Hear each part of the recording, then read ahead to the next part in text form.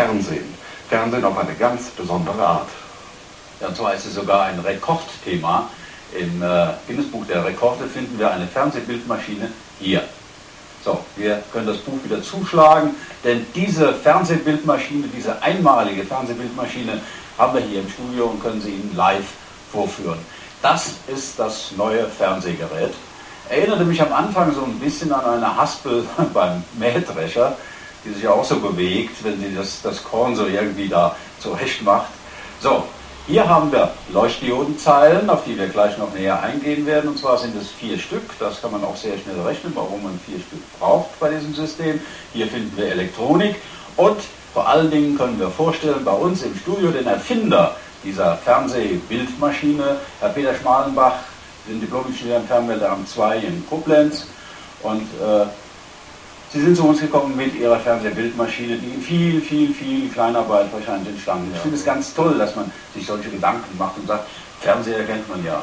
Aber jetzt machen wir es mal ganz, ganz anders. Sind Sie ein kleiner Nipko, der das Fernsehen erfunden hat, damals mit dieser Lochscheibe? Nein, das bin ich nicht, aber ich habe mich auch seit frühester Jugendzeit äh, schon für die Radio- und Fernsehtechnik und Elektrotechnik, Elektronik interessiert und wollte einfach mal sehen, ob man ein Fernsehbild mit Leuchtdioden erzeugen kann. Dass Sie Leuchtdioden genommen haben, ist ganz klar. Die sind sehr schnell im Bildaufbau. Sehr gut eignen.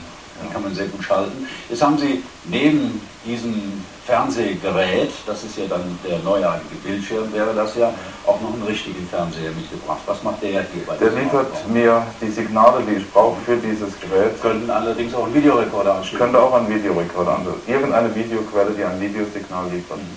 Es geht weiter mit Ihrem Aufbau, da finden wir hier so ein schön beschriftetes Gerät. Was ja, da werden die Signale aufbereitet, damit sie für diese elektronische Schaltung geeignet sind. Dieser Kasten nicht sehr aufregend. Das sind zwei Netzgeräte, Spannungsversorgung. Das Steuerpult für den Schrittmotor. Ja, den Schrittmotor, das ist äh, ein Geheimnis, um die konstante Umdrehungszahl Um den Bildstand konstant zu halten. Den, den man muss nicht unbedingt einen Schrittmotor halten, der eignet sich aber sehr gut dafür, weil man dann ohne eine Regelung aus. Ja, das wäre der Schrittmotor und der arbeitet dann hier auf die Achse und dreht das Ganze nach einem bestimmten System. Können wir gleich nochmal drüber reden, wie es sein muss. Und dann sehen wir hier diese Leuchtdiodenzeilen. Ich gehe mal an einer ran. Ich hoffe, dass wir da etwas Modulation bereits sehen können, dass also diese Leuchtdioden hell werden und dunkel werden. Äh, zum Prinzip. Über so eine einzige Leuchtdiode läuft quasi das ganze Fernsehsignal, das ganze Fernsehbild das läuft hier drüber, es wird hell und dunkel. Und jetzt ist es meine Aufgabe im Grunde genommen nur, dieses Bild, was in der einen Zeile ist, auseinanderzuziehen, um es sichtbar zu machen. Und das macht Ihre Maschine, indem sie sich einfach dreht. Ja. Wir haben dann hier noch Elektronik. Vielleicht erklären Sie da noch kurz was dazu, was wir da noch alles ja, sehen bekommen. Das ist ein großes Schieberegister, ein 232-Bit Schieberegister. Mit, äh, damit werden die einzelnen äh, Leuchtdioden über Transistoren angesteuert. Also 232 Leuchtdioden in einer Zeile. Ja. Und als besondere Schaltung ist bei jedem Bildpunkt ein Feldeffekttransistor dazugekommen, der äh, äh, das Helligkeitssignal für jeden Bildpunkt eine gewisse Zeit speichern kann, mit Hilfe eines Kondensators am Eingang. Ja, damit man überhaupt damit der Kontrast, damit, weil das Fernsehsignal ist ja erhöht wird. schnell, ne, wenn man ja, das nachrechnet.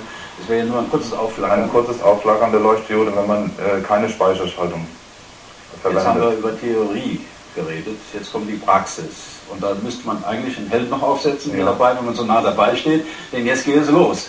Das Ding macht doch einen ganz schönen Krach. Ja. So, fangen Sie mal an. Dazu müssen wir im Studio das Licht runterziehen, damit wir besser sehen können mit den Kameras. Achtung.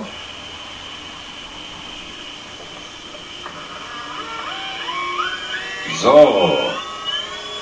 Wie wir sehen, das ist noch zu langsam. So, da kommt schon das erste Bild. Das ist jetzt die halbe Bildhöhe. Man sieht jetzt zwei Halbbilder übereinander stehen. Die Drehzahl ist 6,25 Umdrehungen pro Sekunde. Denn wenn wir auf 12,5 kommen, dann wird das auseinandergezogen das noch weiter. mal 4 Leuchtdiodenzeilen, macht 50 und da sind wir wieder bei unserer 50 Hertz Bildwechselfrequenz. Ganz genau. So, jetzt kommt der Turbo-Effekt. Die Maschine geht höher und höher muss den Motor langsam hochdrehen, sonst kommt er aus dem Tritt. Das ist für einen Schrittmotor typisch. Also wenn wir das als Fernsehsystem hätten, hätten wir andere Fernbedienungen. Da wäre eine Taste drauf, die würde Synchronisation, Synchronisation heißen. Und eine Plus-Minus für Schnelligkeit rauf, runter wahrscheinlich. So, ja, da kommen wir schon näher. So. Jetzt kann ich durch einen Schalter die Synchronisation einschalten. Jetzt bleibt das Bild stehen Ja. und das Gerät wird jetzt direkt vom Fernsehsender her vom Studio synchronisiert. Schalten wir vielleicht auf einen anderen Sender, damit man etwas besser erkennen kann. Jetzt haben wir zum Beispiel. Was interessant ist, hier sehen wir sogar den Videotext oben, das Gegrissele in der Ja. Zeile. Kann man auch die Helligkeit, ja. Kontrast. S3 sehen wir im Moment. Jetzt stelle ich auf Aber Videotext Decoder gibt es keinen für das System Ja, Moment. Vielleicht mechanisch- demnächst. Ja. So, jetzt versuche ich mal ein anderes Bild noch zu bekommen. Ja, die Konkurrenzprogramme, auch das funktioniert sogar mit diesem System.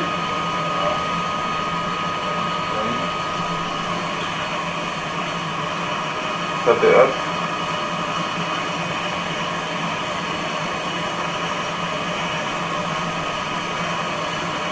So, auf jeden Fall, man kann mit dieser Maschine ein Fernsehbild darstellen.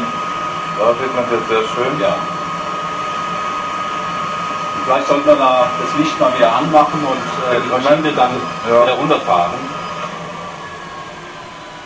So, toll, also müsste ein Schutzkäfig auch noch rum, wenn man das Ja, man muss ja, vorsichtig sein, damit man nicht in die Maschine reinkommt. falschenweise die Finger absäbelt. Ähm, Herr Schmalbach, jetzt haben Sie ja 226, 232. 232 Leuchtdioden in einer Zeile verarbeitet. Haben Sie schon mal daran gedacht, das auch in Farbe zu machen?